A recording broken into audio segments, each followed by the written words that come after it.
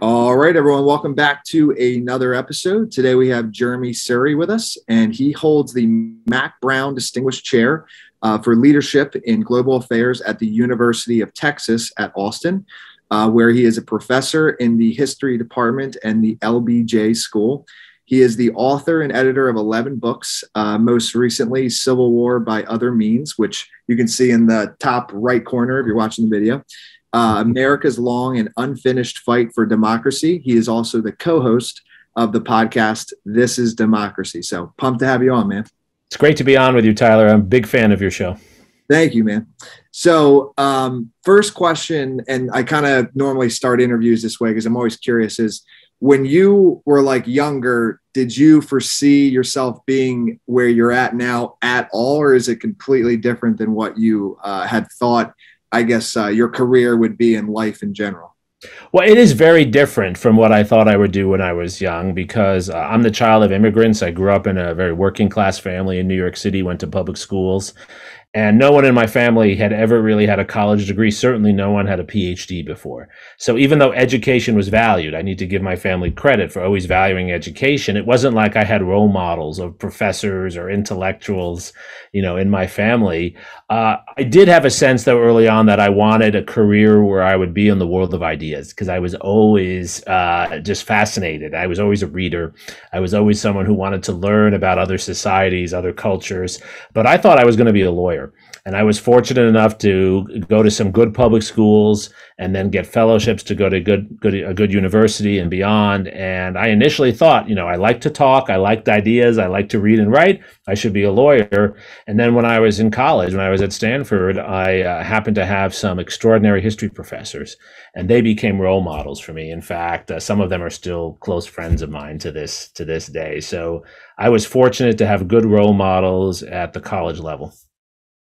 That is awesome. Yeah. So to go a little deeper in that, I'm curious because you said like you were always like with ideas and stuff. So do you think it's something that like obviously things can be learned, but like do you think it's more something you're born with if you uh, go down a path of more like like I think some people like to think and other people don't like to think.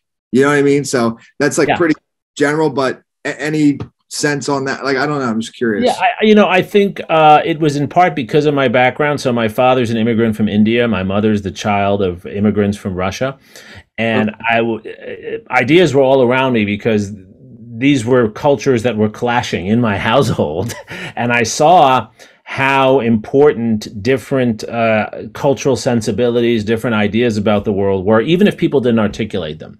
So I think I was exposed to that early on. And my belief is there probably is something hardwired into some people to think one way versus another way. There are some people who are, I think, are hardwired to do things with their hands and they do amazing things. Think of Michelangelo, right? And then there are people who are hardwired to be writers, you know, the Toni Morrisons of the world, right? So, so I do think there's some hardwiring, but I also think those initial years, you know what you're exposed to early on probably shapes your brain uh, in really important ways. And because I was not in an intellectual environment, Tyler, but an environment where ideas clearly mattered, because that was why my family had suffered so much, right? I mean, that that was something that was front and center in my consciousness.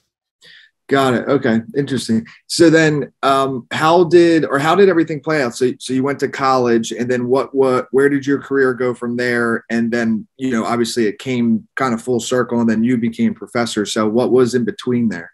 So I was fortunate when I was in college. I had some great professors, and I went to graduate school. Eventually, got my PhD from Yale, and I was hired uh, to be a professor actually at the University of Wisconsin.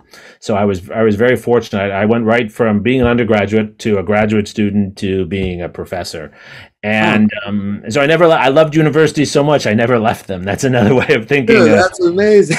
thinking, thinking about it. Most of my graduate students who have become professors usually did something else before. Like, you know, they graduated from college, went and taught in a high school somewhere, did Teach for America, Peace Corps, stuff like that. I didn't. I was the rare person who went, who went straight through but I found my love in, in, in college and desire to do this work and uh, was fortunate enough to have, honestly, it's not that I was smarter than other people who didn't take that path. I was fortunate to have people who opened pathways for me. I think mentorship is so important. And as educators, it's our role to educate people, but as well, it, it is our role to open doors for them, to be pathway producers for them. Yeah, and, and on that, just curious, and maybe there's not a percentage, but i will ask it in that way because I'm curious. So, like, you know, in college, I think you learn a lot, obviously, but also it's relationships that totally. you build. What or would you maybe say it's both are equally as important 50-50 like yeah, yeah, i think it's 50-50 because because the thing about networking i mean there are ways to be crass about it and we've all met people like that but networking when it really works you're learning a lot. I mean some of the people who i lived with in college who are still friends of mine even when we were out having fun even when we were out having beers underage right uh, we we, we were talking about I, I was learning. One of my best friends he's still one of my best friends he came from a relatively rural part of wisconsin. I came from new york city. Becoming his friend was an education for me on the world. I, I, I feel i understand the world differently from those family members of mine who have spent their entire lives in new york city because of my friend dylan Mm-hmm.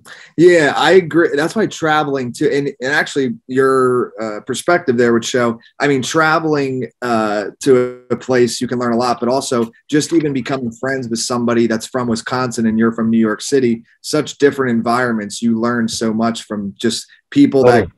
And I think that's one of the biggest things is like you know even if the hometown you grew up in or city and you love it and you want to stay there, I think that's great. But travel outside of it so that you can totally. just so that you can experience and really understand that the whole world is not like your city or your town. and and do the networking, do the work of meeting people. You know, there are too many of my students now I see, you know, they take a trip somewhere, but they just hang out with people like themselves. You know, mm-hmm. you mm. can go. This is what happens now with my students. They travel to Paris and they text all their friends who are in Paris who are also traveling, and they just hang out at a bar in Paris. They might as well be in Austin. Ah, great point. I'm, Go and meet new people. Meet new people. Live with new people. Yeah, no, you're so right, man. I and you know when I travel now, I was talking uh, with somebody else about this recently. It's like whenever I travel, you know, you start out kind of in the touristy part of a place, but then from there, my first question is always like, okay, where are the locals? Like that's where I want to go. Like where are the locals? Yeah. Let's go off the beaten path and like I was oh yeah, I was talking about uh, Czech Republic because I I went to Prague and like Africa. I did all these when I was younger. I did a travel abroad in uh, college, and um, that was one of the things. Is in uh, Czech Republic in Prague. There's like this main kind of center area. There's a guy on a horse statue. Anybody, oh yeah, yeah, yeah. I've been there. Yeah. Yeah, it's like that main area. But then Wenceslas Square, I think something yes. like. I think that is yeah. If you walk there like 20 minutes uphill or like to the side, that's where the locals hang out. There's like small bars and stuff. Totally. That was the. I mean, look, the touristy spot's cool, but if you go and you like have a couple beers with the locals, that's the real stuff. You know, that's, that and it, that, you know, it's actually pretty simple, but you have to get yourself out of your comfort zone. You can't go in a big group. Also, I mean, so many of my students when they travel, they travel as you know, a group of ten people you're not going to meet anyone that way. You got to travel in like two people, three people maximum, right? And as yeah. you say, go to a neighborhood off the beaten path. I love it. Find a local kebab stand. Find, you know, find kebab, where dude, I ate that every night because I remember I was like 19 or 20 when I was over there. Like kebab, it was like uh it was like a five dollar euro coin or something, and um, that was all I could afford. So yeah, yeah, there you go. Honestly, it tastes good. So I yeah. you had that just for dinner. I was eating that for breakfast. no, I, I can only afford one meal a day. well, you needed to save your money for beer, right? Yeah, yeah. Well, yeah, I, I could afford unlimited beers, but only one meal. Somehow I found the money for the beer. um, but uh so i wanted to before we dive in more detail to this particular book like so you've written and edited 11 books. Can you tell us a little bit more about so like you've actually authored 11 books yourself and edited them or tell so, us yeah. no so i've uh, there are five books. This is my fifth book that i've written myself. Uh, and okay. then the other the other six books are books where i was part of a team and we wrote different chapters and in some cases or i guess in, in those six cases I was the editor who pulled together the chapters, including my own. So, okay. for instance, I did an edited volume on the history of diplomacy. How has diplomacy evolved over time? I did a chapter on Henry Kissinger. Other people did chapters on other people, and then I did an introduction and brought it together. But the actual publishing and editor, I don't do that stuff. I have a the publisher does that.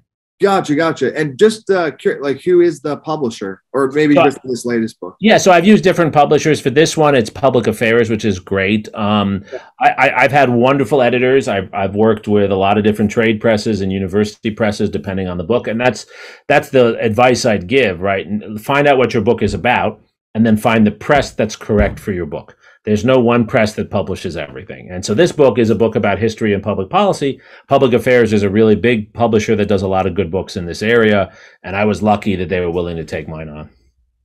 So with this current book, Civil War by Other Means, what uh tell us a little bit more from just the title and then I want to dive a little bit deeper uh, into what it's yeah. about. Yeah, so there are two elements to the title. One is obviously the word, the phrase "civil war," And uh, I don't think we're in a civil war, but I think there are elements of civil war behavior that we're seeing today in our world and that are not necessarily new to our world. And so that's one element of it strife, partisanship, division. Um, and then the second part, by other means, really uh, refers, if I were in an academic setting, I'd say to Karl von Clausewitz, this great German theorist of the 19th century, who said that war is all politics by other means. And so what we're having here is not politics by other means, we're having war by other means, which is to say, it's not that people are out killing each other on battlefields. Fortunately, not for the most part, though there is some of that happening. It's more that those conflicts have seeped into other forms of behavior that are more legitimate. That's part of what happens in a courtroom, right? You could see a courtroom as war by other means, right? You have two elements that are coming at, they can't agree and so they've shown up in this place and they're performing and trying to persuade a judge or a jury of what they think. So the real point of the title, bringing those two things together, is that our democracy has long had elements of deep division and conflict in it. And they show up in some unusual places, not just the normal places we see them. Got it. And then what, um, I guess, and I do want to go deeper into this one, but are are your books kind of all covering like these type of topics or are some of them completely out of this realm? Great question. Uh, every one of my books is different. I hope so. I promised myself long ago i wouldn't write the same book multiple oh, times. Well, i know sure. people i know people who have done that and it's really annoying. I'm not going to do that. And i'm lucky i have tenure so i can write whatever i want right? So i um, every book is different but of course there are themes. You know everyone has their their shtick as my russian jewish grandmother would say right? So my shtick is yeah. I'm really interested in three things. I'm interested in politics. I'm a political junkie. I'm interested in history. So I'm less concerned with following every 538 poll. I'm more interested in the history of politics. How did we get to this president? What did other presidents do? And then I'm interested in how that history and politics coming together can inform the way we think about our world today. So what what does it tell us about our world today? And so this book is one version of that. But I did a book on the 1960s that was about that too. I did a, uh, a book on nation building and how we've thought about nation building. A book on Henry Kissinger. So every book of mine has been politics, history, and then how does that inform today? But different subjects within that larger space. All right, I love that. Okay, so that opens up a lot. So um, that actually the connection with history and politics it's i mean it's very logical now that you've said it to think like that but i've never actually really pieced those two together before and like sat with it. So that already has kind of changed. So my next question i feel like logically would be so what historically if you were to name a few highlightable things led to where we are now do do you think right? Like that's the next yeah, yeah. so so for this book i have a very i have a very particular argument about that. I think it's less the actual civil war it's what happened after the war in the 10 to 20 years after the war. And my proposition is that the battlefield is only phase 1 and you can win the war and still lose the peace. In fact the winners of wars often lose the peace because they think they've won and they're tired and they want to go home but mm-hmm. the other side doesn't think they lost. Welcome to Iraq, for example, right? And that's part of what happened after our Civil War. So the Union, Lincoln side wins, slavery ends, and that's significant. That is huge, right? We don't want to take that away. But there are many elements of the Confederacy that resist the Union and continue to resist by other means, and they prevent the change that we would have expected in a democracy. Biggest example of this is voting we are a democracy today that inherits the voting laws from the 1870s. Uh, in Texas, they were written then. Uh, and we are a democracy that has some of the worst voting laws in the world. It is harder to vote in the US than it is in most other democracies. For example, in Germany, you don't have to register to vote. In Germany, you have multiple days in the year you can vote. And, and, and this is Germany, right? This is not a bastion of democracy until recently, yeah. right? Uh, in Texas, where I am right now, in Austin, Texas, as of yesterday, if you didn't register to vote, you cannot vote in November. You have to register a month in advance. But I could go right now to a store and buy a gun. So it's easier to get a gun than it is to vote in Texas. Those voting laws, Tyler, go back to the 1870s. That's what we're dealing with, right? That's a malformation. Why did that happen? Because those who lost the Civil War in Texas, uh, they had to end slavery, but they still didn't want black people to vote. And they made it harder for them to vote. Now they make it harder for young people to vote. I have undergraduates, I have 300 undergraduates. I guarantee you it happens every semester. Next week, a whole bunch of them will come to me and say, Professor Suri, I want to vote for the first time. I'm 18. How do I register to vote? I'll say, sorry, you can't do it. Isn't that horrible? Isn't That's that horrible? Crazy. I didn't know that. So wait a second. But that thing, so as of yesterday, was there any like I can't imagine there was. Was there any like notification to? Oh people? yeah, there's some, and I was notifying people and people. Okay, okay. But but look, look, Tyler, I have 300 undergrads, right? They're most of them are freshmen. They're 18, 19 years old, right? Do you know 18, 19 year olds who do anything a month in advance? Did you do anything a month in advance when you were 18, 19 years old? Try to stack up as much beer money as Exactly. it's not their fault. But yeah. that, the law intentionally does that. Just as 50 years ago, it had all kinds of other requirements. It used to be in this state you had to pass a literacy test, but only certain people had to take the literacy test. Guess who? Right? You had to identify the number of beans, jelly beans in a jar when you showed up to, to register to vote. My point is is is back to your great question, right? These are rules that were enabled by our system in the 1870s because the families that were in control of these communities recognized that with the end of slavery, there were new potential voters who would kick them out and they didn't want to be kicked out of power. No one wants to lose power. So they created institutions that limit access to power in our society. And we evolve as a democracy where some people have access to the ballot box and others don't. And the only way we're going to change that is if we go back and understand that history so we can undo it. So, question, and without hopefully without looking like I have no clue, but I that's why I like interviewing people I don't know the topics that well. So it seems is who who would not want to like why has the law not been changed? Like who doesn't want to change it?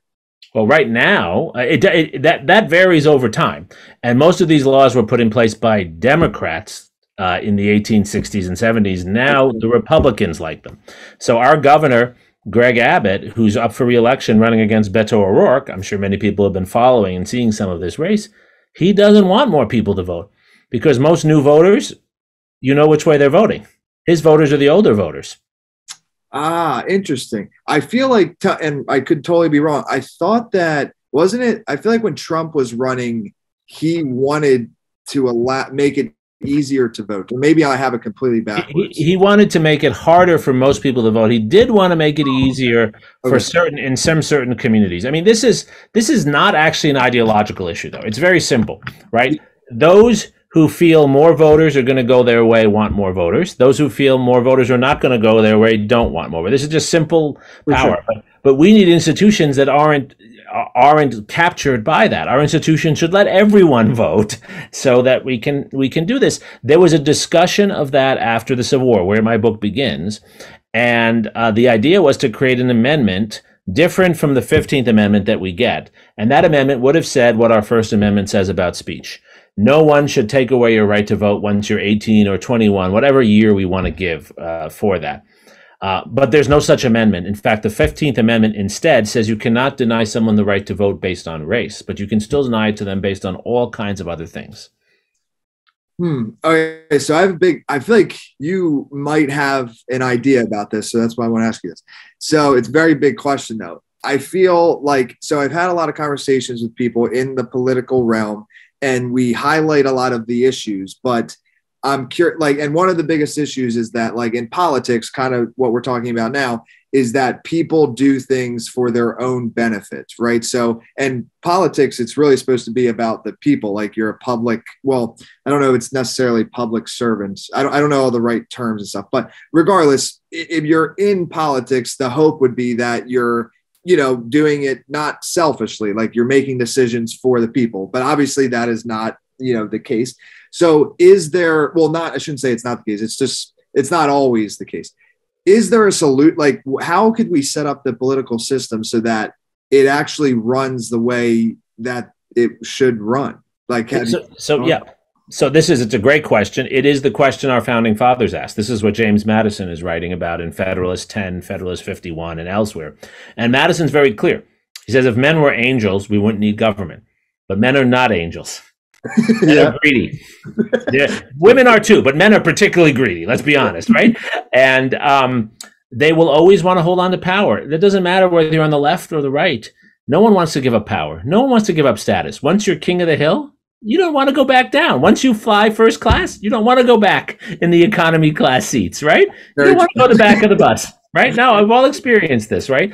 So um, you have to set up a system that doesn't privilege anyone and forces people not to be able to hold on to power too long, forces them to give it up and creates checks and balances. Checks and balances. You want to make people do the right thing in pursuit of power. Don't assume they'll do the right thing and give up power. Have them do the right thing in pursuit of power. So, what would that mean in our society now? That there actually are some ways we could think about this that are pretty straightforward. If we made elections not about money, if everyone had the same amount of money when they run, let's say you tomorrow, Tyler, decide to run, you've got a great podcast, you've got this huge following, you decide to run for Congress, right? Mm-hmm. Uh, but you're not a, as far as I know, you're not a millionaire, mm-hmm. right? Let's say we had a rule that said everyone gets to spend X amount of money. That would give you a fair chance to run. Yeah, yeah, I, I like that. I think that would, yeah. So we need we we have to have enough people who say you know what? I don't trust the people who are in power to be in power forever. We need to set up a system that doesn't give anyone an advantage. Mm-hmm. That would be one way to do that. The rich people then don't have an advantage in the election. You've got to go out and convince people to vote for you, not buy your votes. That's a good, in- good incentive structure. Uh, same thing with gerrymandering, right? Gerrymandering is perfected in the period after the Civil War to today, mm-hmm. to the point where you you know the, the elected officials are choosing who their people are rather than people choosing them right? But if we got rid of gerrymandering which we could let's say we had a constitutional amendment said no gerrymandering we're going to have expert panels that create 50 5149 districts. We want every district to be as close to even d's and r's. Then let's have a real race right? And then the person who wins is the one who can convince 5% of the other side to come their way. That would be a much better system. The reason we don't do that it's not because of Republicans or Democrats, It's because you have entrenched power on both sides that doesn't want to give up. The people who have been elected under the current system don't want to change it. They, yeah. they, collected the money under this system. Why would they change it? We need people, you and I, your listeners. It's why I write this book. It's why I'm here. It's why I do these podcasts, my own podcast, yours. People need to say, no, this is enough. Those who are not in power, I don't mean radicals, I mean ordinary people, and say, we want a system that actually is designed as Madison thought, where no one would have an advantage, where it's a true competition. I feel like with tech that could actually be solved. I don't know exactly how it would be, but because I even with what you said with the money thing, right? Like, you know, I feel like there could probably be ways that people could hide it, but with tech, it's very it's hard to hide things. Well, it's easier to hide some things with tech and harder to hide some. So I just mean if there was some sort of thing that, you know, all the people running had to openly show what's happening on like maybe that's the blockchain that could actually help solve this or something. Um, I'm all for transparency. I think it's a great point. So much of um, what happens in our world, it's not a conspiracy people are not that smart. But what it is is that um, the reality is hidden, so you don't see what's really going on. I mean, and that's and and I think if we had more transparency, it was easy, so you could just Google the candidate and it would come right up who all their donors were. You know, that yeah. would be so powerful. What are you, oh okay? Another question I want to. All right, Oh my God. So, all right, now I'm getting excited um, because there's a book called The Creature from Jekyll Island. Have you ever heard of this book? No, I haven't. It's about like the tax system. So, I'm assuming you I mean, you're not like an account, but I'm assuming just from a political standpoint, you maybe know some stuff with taxes and stuff. So, like overall, what are your like? I I would love. Okay, what, what I want to say is like I would love to see where my tax money is going.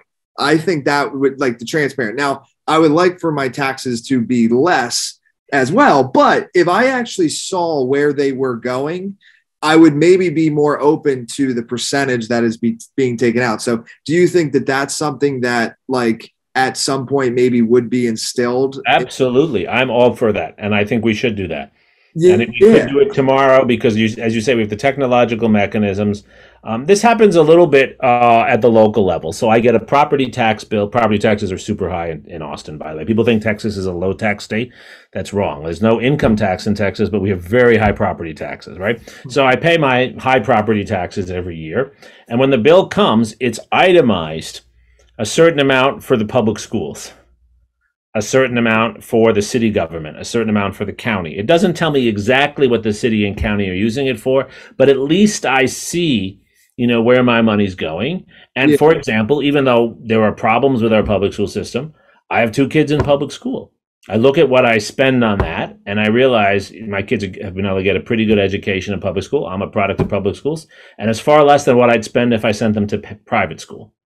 For sure. And so that makes me feel good that doesn't mean I think everything's being done right with the schools, but this is what you're talking about. We should have, when we pay our taxes, uh, the first thing we could start with is tell everyone, you know, on average, this percentage of your tax is going to national defense, paying for soldier salaries, maybe members of your family. This amount, right, is going for roads and bridges. I, I, I think we could start there. We could get more fine grained, but let's just yeah. start there. Yeah, let's just start there because I think that would actually make it so much. Well, I don't even think. I think we could both agree that 100% people would be more comfortable uh, with that, right? Because it's like, and especially at these higher brackets when you're like 40 and i mean in california if you're at the highest bracket plus the state you're paying over 50% you know and i know there's like loopholes realist like and you know i don't know how all those work but yeah i know of them so it's like okay, but if you're paying over 50% of what you make, it, it, would be nice to at least know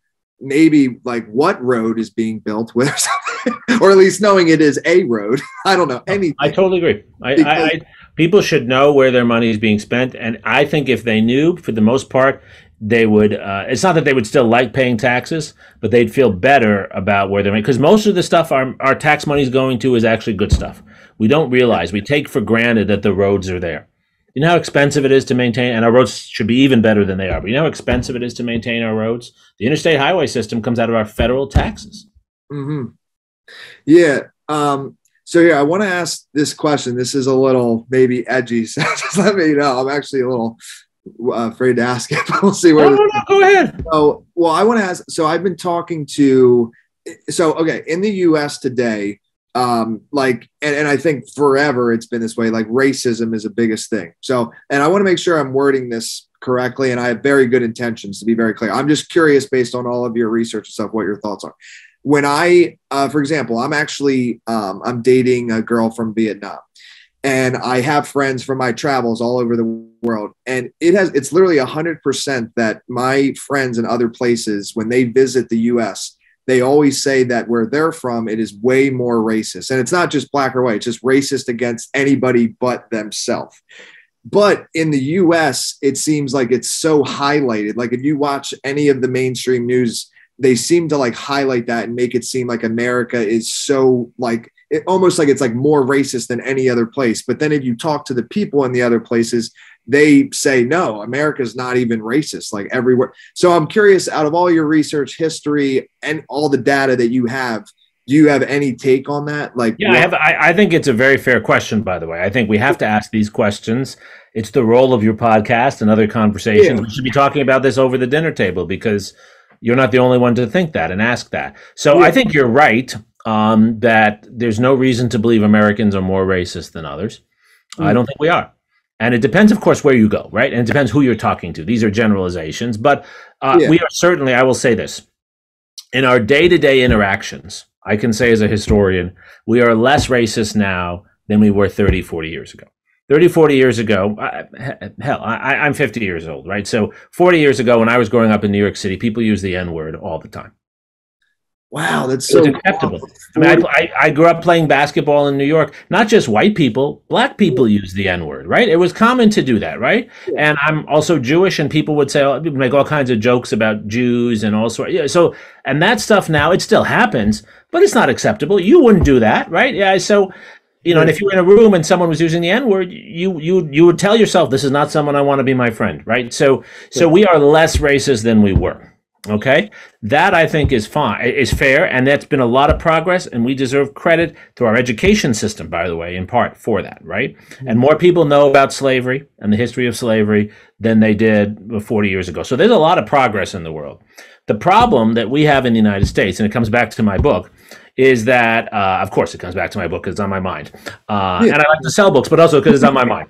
Um, so many of the racist attitudes from the past are embedded in our institutions. I would argue our institutions are more racist than we are. It doesn't mean they're completely racist, but they're more racist than we are. Let me give you the most obvious example that I'm sure most of your listeners know. Uh, our system is, of all the systems in the world, of other democracies, it is the one that imprisons the most black people. And there's no reason to believe that black people in the United States are more criminal like than those in other societies. In fact, they commit a very small proportion of the crimes in the US. Under our drug laws, for example, if you were caught selling uh, inexpensive marijuana or things like that uh, in certain parts, in certain communities, you had a mandatory minimum sentence, often of four or five years. But if you were a white kid in a suburb who was selling cocaine, you'd get a slap on the wrist. Yeah, like a, built into our structure. A disorderly conduct. Four hundred. That's terrible. when I went to Stanford, if you were caught by a Stanford, a California police officer on our campus with drugs, you were not going to be put in jail. You'd get in trouble, but you would not be put in jail. But if you were in East Palo Alto, yeah, who's in East Palo Alto, and you're selling drugs, they're going to put you in jail for three to five years. This, this, this, anyone can look this up. Just Google this. It's uh, and and that is. Do I think the cops, the police officers, are racist in that case? No. Do I think the individuals are? No, but it's built into our system. Why is it built into our system? Because when these institutions were created, they were created by people who were more racist. Other societies have that too. I've spent a lot of time studying France and Germany and Britain. They had, of course, racist institutions, but they have adjusted their institutions. They have changed their institutions in ways we haven't. Why have we not? Because we don't know our history. Germans know coming out of World War II, anyone educated in Germany in the 60s knows they have anti Semitism as a problem in their society, and they hunt for it in the institutions and they change the institutions. Too many of us deny that this is a problem in our society and we don't fix it. Our criminal justice system is racist. The police are not. Police officers, I have many of them as my students, they're not racist. They're less racist than the police officers a generation earlier, but the system, the way sentences are given out to people for drug crimes, is racist. You're more likely to go to jail if you're a black drug dealer than a white drug dealer. Anyone who Googles that right now will see that confirmed in 25 different sources.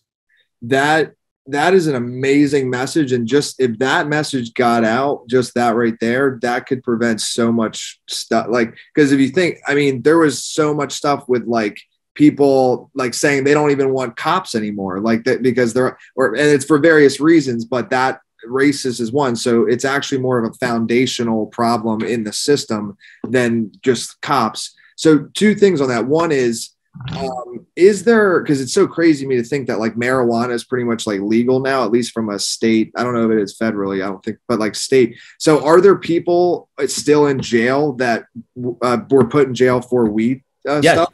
Yes. So, so uh, President Biden just issued an executive order a couple days ago that will um, allow for um, anyone in a federal prison to be released.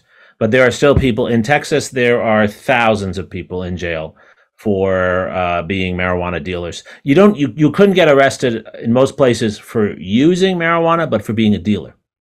Okay, got which, means, which so, means, you're the kid in high school who's selling it. That, that's what it means to be a dealer, right? The kid who's selling it at yeah. high school, right? It doesn't mean you're a gang buster, right?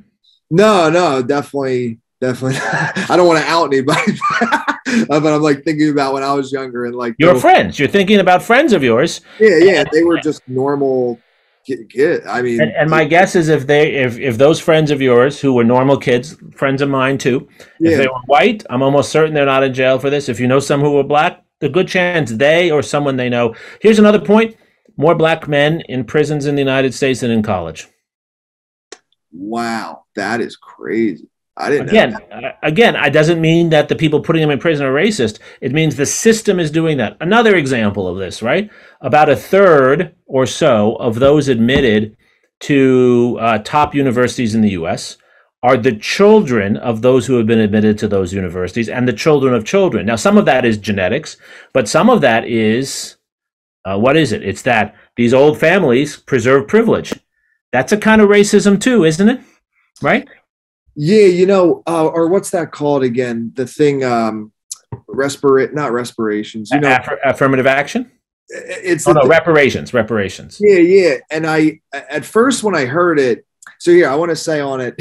these are touchy topics, but what I want to say on on that, at first, when I heard it, I completely just disagreed with it. But then I watched this video, and this guy kind of described it, and he's like, the way he described it, it did make sense. Now, look, I don't know if there would really be a way to do it that it would be that it could actually work. But the way he explained it is he's like, look, a hundred years ago there was racism. Your white grandparents they owned the farm. My grandparents uh, worked on the farm. So regardless, that farm was passed down generations to you, and nothing was passed down to us. And when he kind of showed both sides, I was like, okay, when you put it that way, yes, you are certainly at a disadvantage. But then I just don't know if reparations is the solution to that.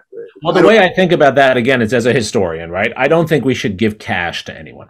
Yeah, yeah. I, I, don't, I don't think giving cash payments to people is usually a good idea. I don't think you know. I don't want anyone to give a lot of cash to my kids. I worry what's going to happen, right? So yeah. I, I don't want I don't want cash to be given to people. What I want is this: I want us to invest in communities where people are growing up in environments that give them a disadvantage, not because people are racist around them, but because of the historical legacy. I'll give you the example of Austin, Texas, which is not unique at all. Uh, there's a part of Texas that in, in the early 1920s, uh, African Americans were forced to move to. They were forced. They used to be around different parts of Austin. There was actually a very prof, a very prosperous part of Austin with a very prosperous black community called Clarksville. It's now a really trendy area in in Austin. All of Austin's trendy, but that area in particular.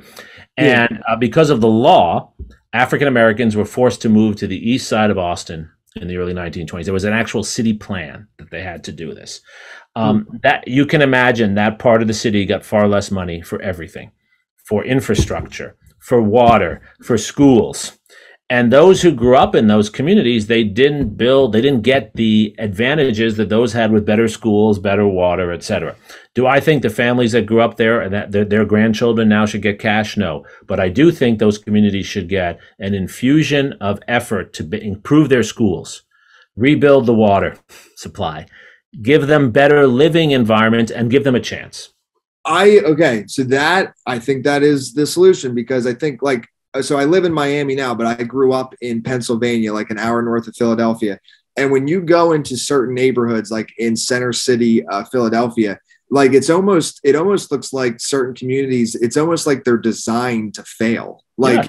There, yeah. there's there's literally like a liquor store and uh, I don't even know. Like there's just like a liquor store, 7-Eleven, and it's just like these certain communities. They they don't have anything that is healthy in close vicinity of them. So it's like, whereas the neighborhood I grew up in, it was like, you know, there was Trader Trader Joe's and so and so when you even just look at it that way, it's almost like, and when you're when you're older, it's harder. I almost think to see because, but you have to think about when you're a kid. You're, you're only your whole life is kind of like the couple streets that you yeah. That, yeah. And so if the couple streets that you see every day from ages zero to 10 is liquor store, people selling drugs on the corner, 7 Eleven, to you, that is what life is. Like there's Absolutely. nothing. And that, uh, so either way, I think, like what you're saying, not to the individual, but more so, let's actually build up these communities and, and it, with healthy opportunities in them or something. You gave the best example, which is food, right? Yeah. Um, most of these bad communities, I'm sure this is true for Center City, they're what people call food deserts. They don't have healthy food sources. They don't have good grocery stores. I don't mean Whole Foods. Doesn't be fancy, but I mean whatever. You know, in Texas, the big grocery chain is HEB. They're great. Uh, Publix in Georgia. You know, whatever it is, right? Um, cities should work to get good grocery stores in these communities. Help them, subsidize them. That's a reparation because then those kids growing up there have access to inexpensive, healthy food rather than the convenience store or bodega where they go in and they're eating Twinkies. Yeah, actually get healthy food. That's that makes such a difference in a kid's life. It does. Um, okay, so one of the last topics I want to talk to you about is like laws in general. So I listen to um, I listen to a lot of Joe Rogan. Obviously, a lot of people do. Um, Lex Fridman, Tim Ferriss. Those are like my top three uh, podcasts. But Joe, uh, one of the things he talks about a lot of times, which I agree with, is like basically if, if you're not hurting anyone else, then you should, and you're an adult, you should be allowed to do it. I, I almost think that the legal system should, and obviously you need details. I'm not saying that throw the whole law book away and just be like, hey, no harm, no foul. but like what I am saying is, I think that it's, I almost feel like it's a, a lot of the laws are like not necessary. So, based on history and like all the data points that you have, what do you think about the legal system in general? Could it be simplified to basically just like, hey, as long as you're not hurting anyone else, do whatever you want almost? Like, what are your thoughts on that? Yeah, I mean, I think the legal system, of course, can be simplified. And many of the complexities we have is, again, back to our discussion, it hides different things. Um, but we do live in a world where many of the things I do, even if they don't harm someone else, have a big effect on your life. Right. You know, so yeah. do, do you really want people, you know, playing loud music who live next door to you at 2 a.m.? I mean, when you're in 18, you don't mind, right? When you have a baby, it falls asleep. you know, I'm okay next door if they're playing at 10 p.m. 2 a.m. Come on now, right? You know, so I I think the legal system. I would not put it as Joe does that. I do anything I want unless it harms someone else. I would put it more this way: that we create some pretty clear expectations for what citizenship means, and within those expectations, then you get to do. I, am a believer uh, that actually there should be a public service requirement that everyone should have to serve their country for you. I don't think you have to go into the army. I, I think going to the army is a noble cause, but you don't have to do that. You could go be a teacher somewhere. You could go work as a nurse. Uh, I think that in I'm a historian, right? Most societies until the 20th century, including our own, did that. They had some public service requirement. Why? Because first of all, that's given back to your community. Second, it forces you to value public service. And third, it forces you to be with people different than yourself. Right? I wrote a book about Henry Kissinger. He was a German Jewish immigrant. You know how he learned who Americans were? when he was drafted into the army in 1942 and he was taken from an Orthodox household in an Orthodox community, sent to South Carolina to live with non Jews. He was the first person in his family who had ever lived with non Jews. It changed his life. He says it's the most important thing that happened. Um, so I'm for saying, yes, we, we want our bias should always be to the freedom of the individual. But let's create some consistent expectations of what you as a citizen do, that what, what it means to be a patriot. I don't want to hear you talk about how you're a patriot. I don't want you to sing about it. If you want to, you're fine. That doesn't make you a patriot. What makes you a patriot is you're living by a set of expectations that serve everyone's interest. One of them could be public service, right? Another one of them could be that you vote. I think everyone should vote and we should help everyone to vote. Yeah. I really like that. And I actually think that goes into a whole nother conversation, which maybe I have you on again for that. Um, but to touch on it quickly is like, I think so. Capitalism, I am a fan of it, and I think it's the best thing that we've come up with thus far. I, I believe there'll probably be better altercations or, or, or uh, alternatives in the future, like variables. Um, but I, you know, obviously, I think better than like communism. It seems from historical. Absolutely, uh, the history shows that absolutely.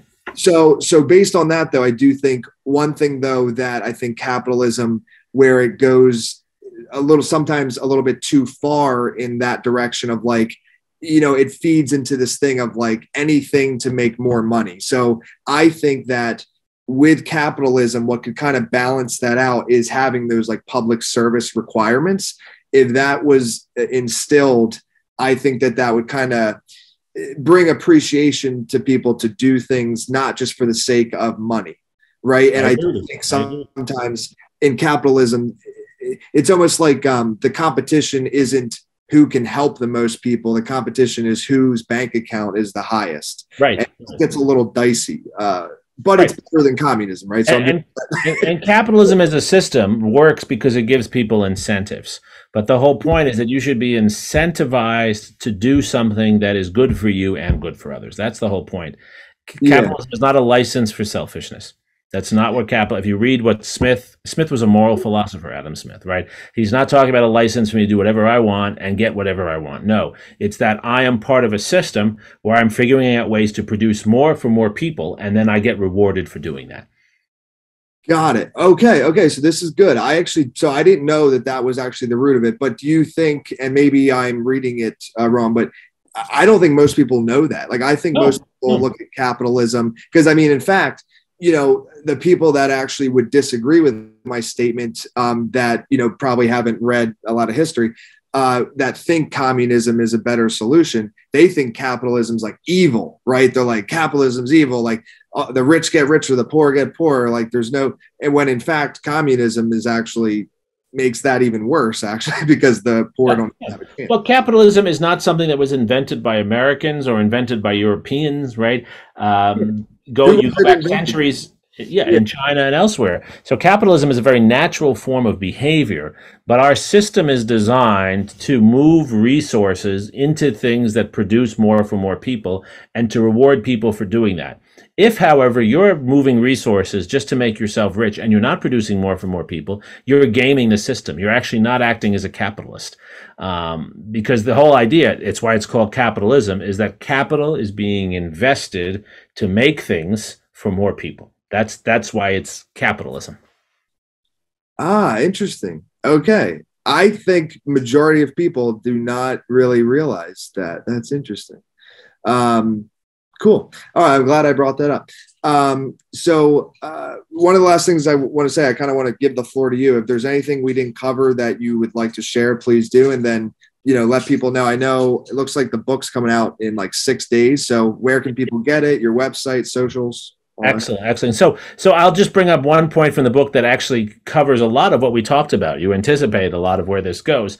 You know, yeah. my, my book argues that um, the most important thing we can do as a society, as patriots, as people who love our country. I love my country. Uh, my my parents are immigrants. I wouldn't be alive if the United States hadn't taken them in. So no one loves their country more than me. But it's the same way I approach my children. I love them, but I'm always trying to make them better. It's my job to encourage them to be better. It's our job to encourage our country to be better. And what I point out in the book is that there are experiences and things that happened a long time ago that none of us are responsible for, that happened after the Civil War. We talked about voting uh, in terms of the ways in which violence is used in our society, who's included, who's excluded, the way resources are allocated, all sorts of things that we live with the effects of today. And if we honestly diagnose those issues out of patriotic incentive and patriotic motivation, we can make some changes that make everyone better off in our society. I gave you one already. Let's have a constitutional amendment that says that every citizen above the age of 18 gets to vote and no one gets to mess with that. Uh, let's do that. Let's not have voting on Tuesdays, which makes it hard for some people to vote. Let's make voting a weekend affair or make it a national holiday. There are all kinds of things like that that we can do. We don't do those things not because anyone is being bad today, but because of decisions made at the period I point out in my book at the end of the Civil War. We can go back to that moment and we can fix things. And that's what history is about learning from the past. I'm an optimist. I believe that's the most American thing to do if we give ourselves uh, a chance. That's why I wrote this book to get beyond Democrats versus Republicans, to make it more about a historical mission that we can come back to. Dude, I love that. And then, so uh, best place though, uh, like website and stuff. How can people? Yeah, so, so the book will be available on October 18th, uh, and it's it'll be available everywhere. It should be in every major bookstore. You can get it, of course, uh, from any independent bookstore. Please try to help them out if you can, but otherwise, Amazon, BarnesandNoble.com, etc. Uh, my website is jeremisuri.com, J E R E M I S U R I, all one word, dot com. And there you can find out much more about the book. You can also find out places to buy it. Our podcast is linked there, or you can just go right to our podcast. This is Democracy, is the name of the podcast. And I'll just mention, uh, you know, every podcast has its own thing. You have a great interview structure, Tyler. Our podcast, we have an interview structure too, but we open every episode with a poem, original poem written by my son. He's a 17 year old poet. He's now the poet laureate in Austin. And uh, the point of that is our discussions will have like, you know, famous policymakers and stuff on but our idea is to have young people, ordinary people, asking them questions. And my son plays a role in that, bringing a, a younger voice. You know, I, I, think it's so important in our society. It's also why I write books, why I love coming on your podcast, Tyler, to get conversation going. Let's let's start talking rather than yelling at each other, and let's start talking across areas. Uh, there's so much we can do when when we start talking. Couldn't agree more, man. Thank you again. I really appreciate you coming on. My pleasure. I really enjoyed talking to you, Tyler.